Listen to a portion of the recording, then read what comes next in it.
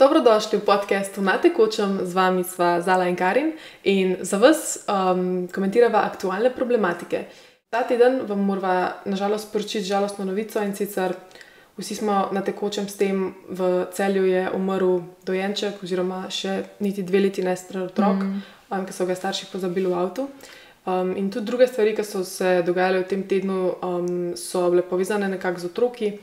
Um, in to bova za vas danes komentirali v tem videu. Preden pa gremo v video, vas pa prosim, da polajkate ta video, pa se naročite na najen kanal in naj jo pofollowite na socialnih omrežjih, na Instagramu, na Twitterju um, in TikToku. Ja, torej, uh, kot smo že omenili, ne, ta teden je pač Slovenija, Slovenijo doletela kar huda tragedija in sicer pač.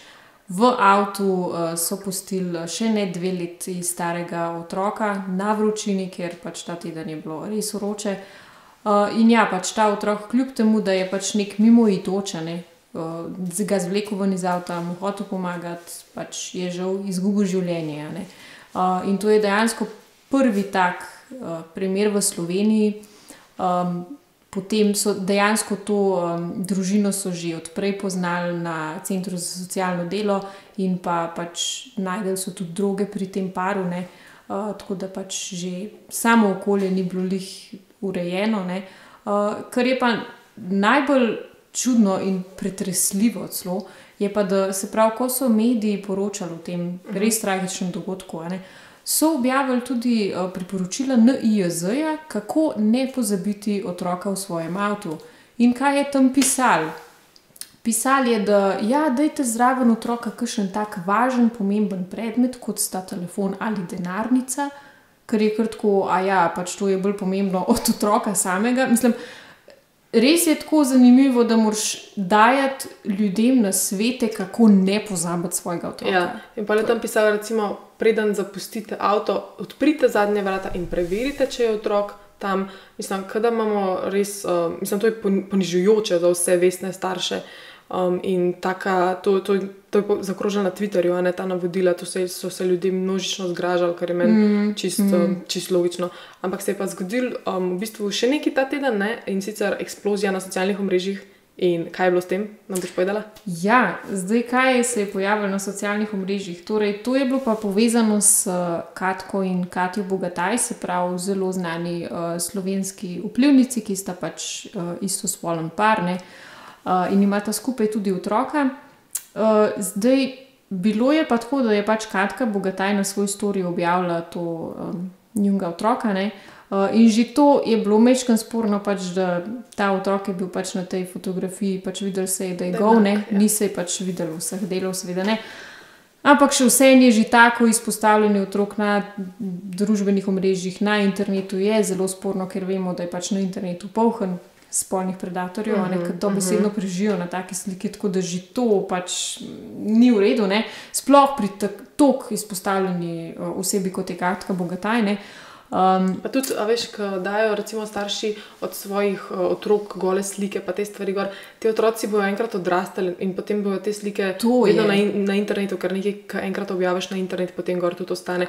In kako je to v bistvu neodgovorno od staršev, Zlo. da objavljajo svoje otroke v tako, ker, tako ranljivem položaju. Ne? Tako je, ker če tako pogledaš, ne, ta otrok ni privolil v to, da se ga izpostavlja uh -huh. pred vsemi, pred uh mhm. -huh. celotno javnostjo. Te slike lahko gleda kdorkoli. Uh mhm. -huh. In pač mislim. Tle bi starši mogli veliko bolj paziti. Ne, pač ne obsojajo nikogar, ampak pač, mislim, treba je gledati z vidika otroka. Ne, ne. Vem, da ljudje radi pokažejo, kaj se jim dogaja, pa da imajo radi svoje otroke in da jih zato objavljajo, ampak treba je gledati širšo sliko. Ne. Ampak kaj pa je zdaj še bilo ne, problematično na tem storju?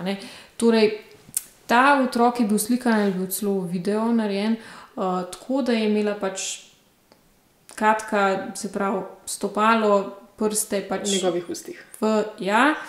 um, in na storiji je pa napisala um, tole, se pravi, fetiš ima pa po mamici Kati. Kar je, kar je pa zelo alarmantno, mm. ker če pa ti povezuješ svojega otroka. Z nekimi seksualnimi stvarmi. To je v bistvu fetiši, seksualiziranje. To ne? je seksualiziranje otroka. Zdaj, kako je prišlo do te pozicije, ne jaz verjamem, lahko da ste se kaj igrali, pa pač otrok pridemo pogledat. Ampak da pa ti pišeš take stvari na story in da sploh kot javno izpostavljena oseba z veliko sledilci, sorry, to je pa nekaj ja. zelo narobe. Zato, ker um, v bistvu. Normalen starš, naj po mojem, mislim, tako si jaz to predstavljam, jaz sicer nimam otrok ali karkoli, ampak si predstavljam, da normalen starš, če bi videl nogo, če bi imel njegov otrok nogo v svojih ustih, bi rekel: Ne, ne to, to, to se ne dela, to je fuj, to pusti. Ampak mm -hmm. da ga pa takrat glih uspeš slikati, pa zraven še pomisliti na nek fetiš, jo, meni se to ne zdi normalno. No, to, to ni v redu, sploh ne, tle je tudi neki. Katka je pač vplivnica, ki ima tudi pač, ona je sponzor podjetij kot sta Lidl in Coca-Cola. Uh -huh.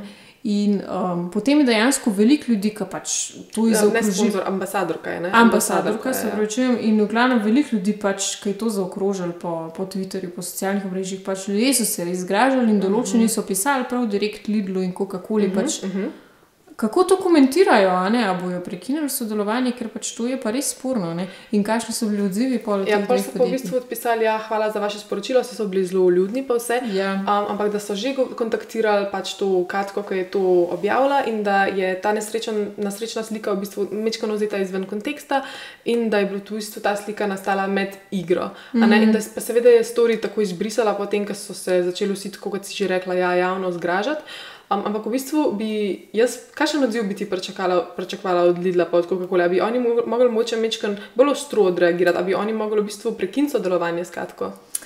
Jaz mislim, da bi mogli mečkan bolj ostro nastopati, kar se tiče tega primera, ne pa ga takoj opravičevati. To so ga v bistvu označili za nek nesrečen splet okoliščin, ja, nesrečen dogodek, nič hujšega. Da, to je bila samo igra. Ja, ja. Vprost, lej, verjamem, da je do te situacije prišlo skozi igro.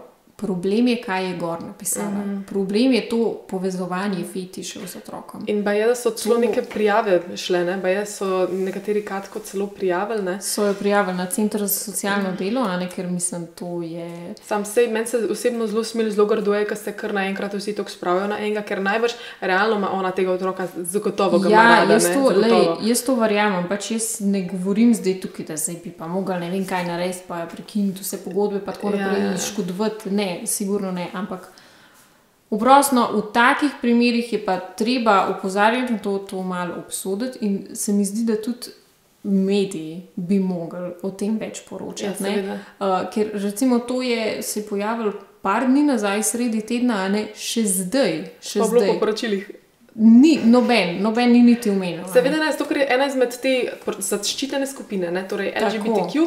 o kateri se ne sme govoriti, o kateri, ne. če rečeš karkoli, si transfob, si homofob, ampak pustimo, zdaj mogoče ta katka ni seksualizirala tega otroka in bo to res tako nesrečno na ključe, se je hotla pošaliti, pa so ljudje tako mečkam preveč burno odreagirali. Ampak lahko bi pa to bila seksualizacija otroka, lahko ja. bi bil to nek resen primer. In zakaj mediji o tem ne poročajo? Zakaj ne? Zakaj, zakaj o tem treba biti tiho in zakaj so unim, ki so se oglasili, ker nekateri so se oglasili. Recimo znani slovenski influencerji, kot je recimo Aleksandr Repič, ki je pod um, imenom Ne pridi prav na Instagramu ali pa Vaux ali pa Uroščeglaj. To so ljudje, ki so se izpostavili, so si upali povedati, da je to, kar je Katja objavila, ni v redu, da je to bolano in da se ne sme seksualizirati svojih otrok in da so zaradi tega tako proti tej LGBTQ agendi. In veste, kaj se je zgodilo? Brisali so profile. Ja, ja, ja, temu Aleksandru Repiču so dejansko zbrisali profil, ne pa v bistvu. In ta profil, ki ima 22 tisoč sledilcev, imel, ja. pa on ni bil niti mal žaljiv v svojem mm. zapisu, on je govoril tam in je zelo spoštljiv, nobene grde besede, čez nobenega, ni, ni, ni nobenega eh, sovražnega govora bilo ali karkoli. Mm, mm, mm. Samo povedal je svoje mnenje, tukaj o svobodi govora v Sloveniji. Ampak to, mislim, to je res problemno, ker tem marginaliziranim skupinam, ne tem raznim, ne vem, če so pripadniki LGBT skupnosti ali pa ne vem, recimo tudi imigranti, kdorkoli. Proti takim skupinam se ne sme nič reči. Pa tudi, če ti ne napadaš nikogar, ampak samo opozoriš, hej, tole pa ni v redu. Ne? Mhm. ne, ne, to si državni sovražnik številka ena, to si um, rasist, transfob, homofob, to si fašist, tudi ne mhm, radi zdaj slišimo. Ja. In jaz sigurno, če bi šlo za uh, par, ne vem, moškega in žensko, se pravi, da bi bila mož pa žena, pa bi to en od njiju objavil na socialna mreža, jaz mislim, da bi to sigurno bolj, bolj odmevalo v medijih. Kot pa je v tem mhm. primeru. In to ni pošten. Jaz nimam nič proti Katki in Kati Bogataj, pa njunemu razmerju, čist nič. Ampak dej, dejmo imeti iste kriterije za vse. Ja, seveda, ne, ne pa bi tako pristranski, ne, ker nekdo, ki je homoseksualec, objavil eno stvar in se to pol, samo na samo Twitter eksplodira. Ja, ne. ja. Samo Twitter, zato ker tam pač res ni tako močne cenzure, kot je recimo neki Tako, drugi. tako ja. Nekaj tam je edin prostor, ki nekako še lahko kaj poveš. Pa lahko ne. imaš svoje mnenje, čeprav ste vedeli tudi na Twitterju, če kdo kakšen tak zapis naredi, se poznamo tožbe, sej, se tožijo te politiki med sabo, Ja, pa seveda, vodi, ja. pa UKZ, ne pa Ja, tako ja, naprej. ja, ja. Um, ampak ne bi smeli nas pa na tak način utišati, recimo to, da so um, nepridipravo, torej Aleksandru Ripiču, da so mu zbrisali profil.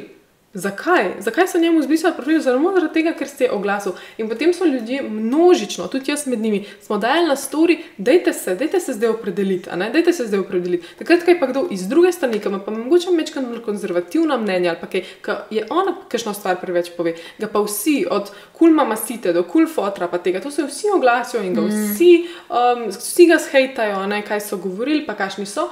Zdaj so pa vsi tih. Mm, Mislim, mm, kako ne fair, kako smo res pristranski.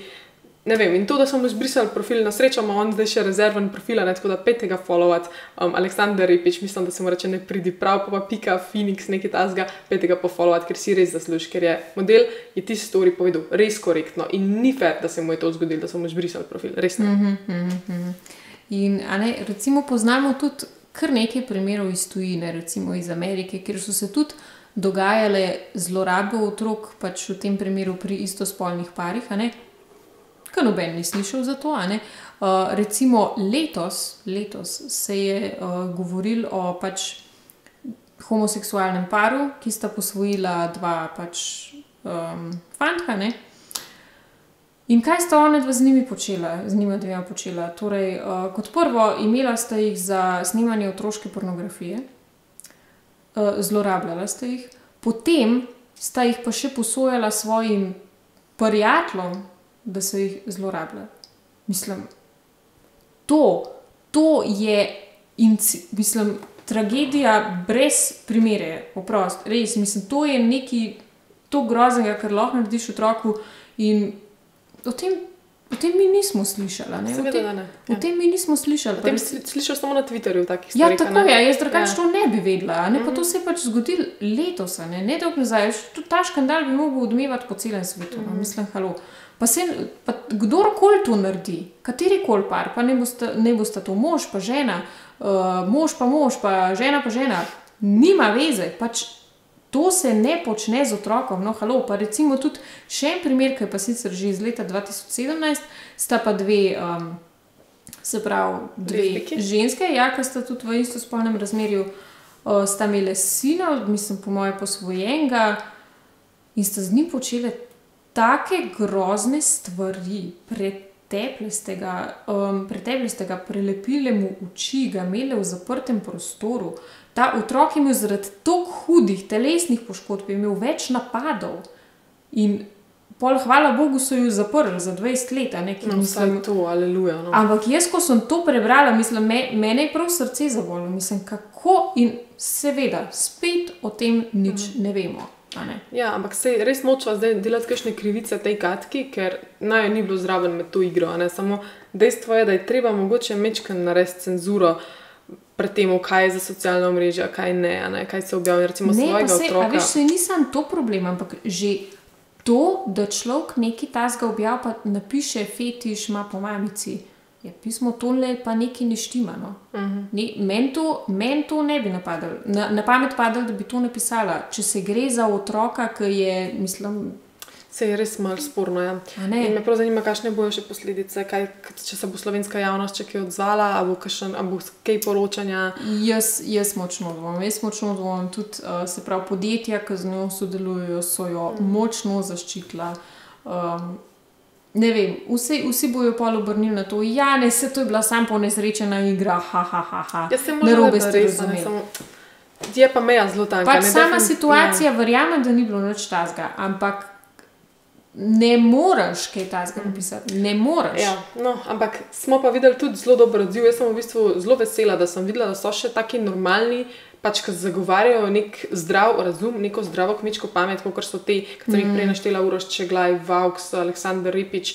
Um, jaz sem zelo vesela, da so v bistvu naredili tak odziv, mm. da je bilo vse tako glasno da so, ja. in da so oni so tudi javno pozvali vsem influencerjem, ne slovenskim, da naj se javno opredelijo, da naj se ne skrijejo zdaj za štiri stene, takrat, ko jim pač tema, za katero niso tako zelo, nočejo povedati mnenja na glas, zdaj bojo pa zdaj tiha. Ne? ne. Mm. In sem zelo vesela, in tudi mi dve bomo o takih stvarih še govorili, zato ker so pomembne, zato ker so to take stvari, v katerih ne smemo, ne smemo biti tihi. Ne, ne, ne definitivno ne. Ne moramo biti.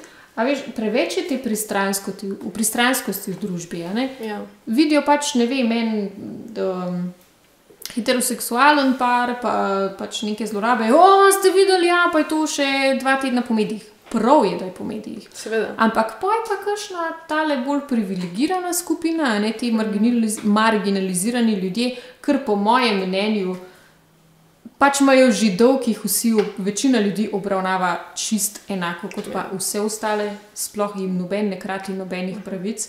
Uh, ampak tam pa, če se karkoli dogaja, kar je čudno, kar je za raziskavo, kar, kar ni v redu, tam je pa ah, se, ali se pomete pod preprogo, ali pa se reče, da ja, ne, to, veste, to pa ni bilo tako, kot ste vi razumeli. Ne, ne, sorry, vsak mora odgovarjati, nima veze, kaj je.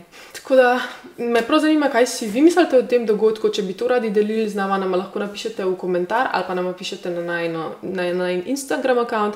Še enkrat bi vas pa prosila, da polajkate ta video, pa subskrbite se na naš kanal. Um, in to je to, upam, da vam je bil video všeč in čaka vas še več takih vsebin.